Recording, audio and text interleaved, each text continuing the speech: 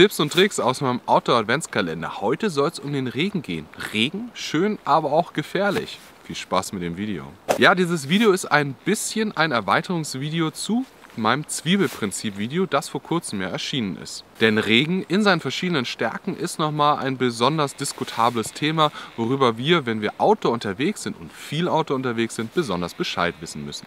Das heißt, wir sprechen jetzt darüber, warum ist Regen eigentlich gefährlich für uns auf Tour? Was ist eigentlich eine Wassersäule und was für verschiedene Arten gibt es, um mich vor dem Regen zu schützen? Die Theorie, warum Regen eigentlich gefährlich für uns ist, ist relativ einfach. Es gibt verschiedene Wärmeleitfähigkeiten von Stoffen. Das heißt zum Beispiel Metall ist sehr wärmeleitfähig. Ja, Wasser nimmt auch gut Wärme ab und transportiert das ab. Wind zu einem gewissen Teil auch. Das heißt, wir wollen uns natürlich davor schützen, dass unsere Wärme aus dem Körper aufgenommen und abtransportiert wird. Und das ist das, was der Regen im Endeffekt mit uns macht. Das heißt, sobald der Regen auf uns trifft ja, und nicht abgehalten wird, durchdringt er, kommt auf unsere Haut rauf und verdunstet dann im schlimmsten Fall wieder mit Wärme. Natürlich ist das im Sommer genau das, was wir haben wollen. Jetzt aber zum Beispiel bei gerade mal 5 Grad plus ist das absolut nicht das, was wir haben wollen.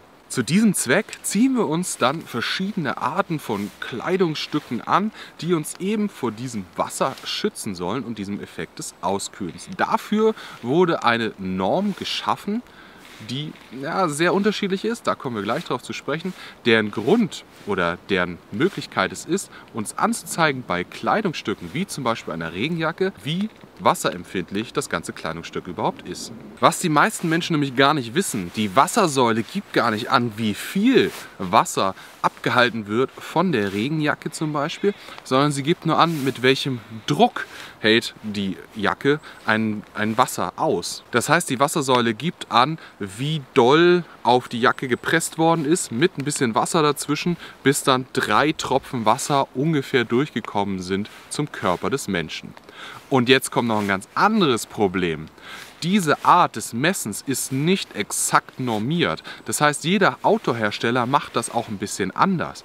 Das heißt, eigentlich ist die Wassersäule völlig unnütz, wenn es darum geht, zum Beispiel Jacken untereinander zu vergleichen. Ich kann mit der Wassersäule von Jack Wolfskin nicht die Wassersäule von einem Decathlon zum Beispiel vergleichen, weil da unterschiedliche Messverfahren, die auch nicht offengelegt werden in den meisten Fällen, benutzt worden sind. Wofür es aber sehr wohl nützlich ist, ist, um die Jacken eines Herstellers untereinander zu vergleichen, denn dort ist ja immer dasselbe Verfahren benutzt worden. Es gibt noch zwei wichtige Normen. Es gibt einmal die europäische Norm, die bei ungefähr ungefähr einer Wassersäule von 1200 mm sagt, dass eine Jacke wasserdicht ist.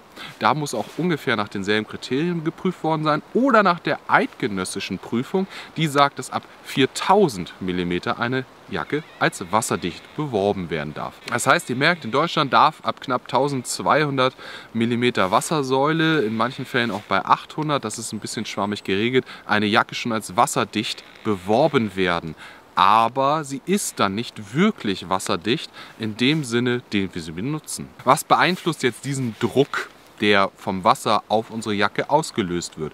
Zum Beispiel, dass wir uns selbst die ganze Zeit bewegen und den Stoff aneinander reiben, dass äh, mit besonders viel Wind das Wasser an unsere Jacke geschleudert wird oder, und das ist mit das Wichtigste, dass im ganzen Rucksackbereich die ganze Zeit der Rucksack Druck ausübt auf die Jacke. Ich kann euch hier und jetzt sagen, dass normalerweise eine Jacke, die ungefähr 4.000, 5.000 mm Wassersäule hat, wenn ihr damit normal ein, zwei Stunden spazieren geht, werdet ihr damit nicht nass werden, im Normalfall auch nicht beim Fahrradfahren. Wobei allerdings auch von vielen Stellen empfohlen wird, bei einer 10.000 mm Wassersäule, das ist dann schon eine ordentliche Wassersäule ohne Gepäck, die man trägt, dass dort Fahrradfahren und längeres Wandern durchaus angenehm sind und man nicht nass wird. Ich kann euch im Endeffekt nur empfehlen, euch ein bisschen selbst damit zu beschäftigen, mit den Wassersäulen und für euch zu gucken, was denn so ungefähr wasserdicht ist, für euer Empfinden zumindest, ja, welche Wassersäule ihr für euer Hobby braucht. Sobald ihr allerdings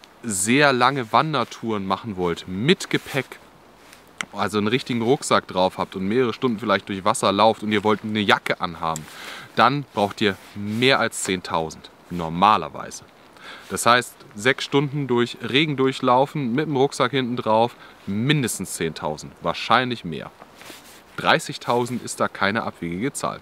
Kommen wir also zur Praxis und welche Kleidungsstücke gibt es denn? Und ich muss mich immer wieder im letzten Teil schon beherrschen, nicht bereits Empfehlungen zu geben, weil ich bin ein begeisterter Poncho-Nutzer. Eine Regenjacke hat durchaus ihren Vorteil, so wie heute, wenn man ja nicht so viel wandern geht mit dem Rucksack, ja, also meistens die meisten rumsteht, ein bisschen redet, dann ist es durchaus mit 2000 mm ist die jetzt absolut ausreichend, weil ich übe ja fast keinen Druck auf das Wasser an der Jacke aus. Ja, das heißt, selbst wenn hier mehr Wasser und mehr Wasser drauf fällt, ich habe ja keinen Rucksack an oder mache nicht die ganze Zeit so beim Wandern oder hier an den Reibestellen. Das heißt, da reicht das. Wenn ich dann aber wandern gehe, dann nehme ich am liebsten ein Poncho und da wird schon relativ in der Struktur klar, warum mit einer geringeren Wassersäule der Poncho eine bessere Idee ist. Der Poncho wird komplett einmal oben drüber geworfen und liegt dann da sozusagen. Er hat fast keine Reibestellen. Er hat ja nirgendwo Druckstellen, wo er aneinander reibt im Material, weil er hat ja auch keine Ärmel oder sonst irgendwas. Außerdem ist der Rucksack unter dem Poncho. Das heißt, er reibt auch oben das Wasser, was uns hinten in den Rücken reinläuft sozusagen, nicht einfach durch den Poncho durch auf unseren Körper. Es steht euch aber natürlich frei, trotzdem zum Wandern eine Regenjacke zu benutzen, wenn ihr es möchtet. Aber dann tut mir den Gefallen und achtet auf eine vernünftig hohe Wassersäule, wenn ihr mit einem Rucksack wandern geht. Wie gesagt, wenn ihr einfach nur entspannt so eine kleine Runde geht, ja, zwei Stunden ohne Rucksack oder vielleicht nur einen ganz, ganz leichten Rucksack, der nicht so viel Druck ausübt, weil er weniger Gewicht hat, dann reicht diese Art von leichter und günstiger Regenjacke auch absolut aus. Noch dazu empfehlenswert sind Gamaschen die packt man sich unter die Schuhe und die gehen im besten Fall bis zu den Knien hoch.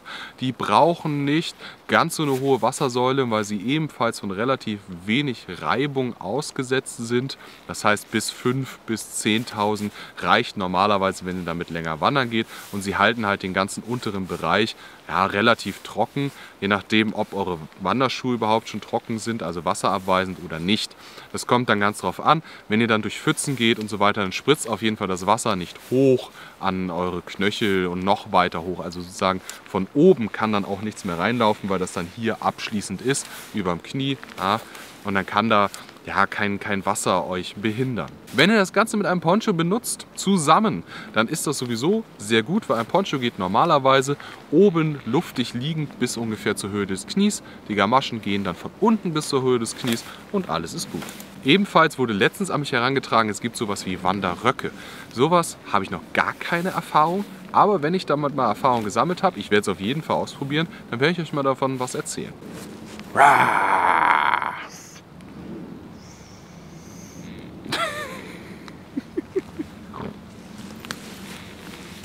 Ja, das waren meine Tipps zum Umgang mit Regen als Erweiterung meines Videos das Zwiebelprinzip.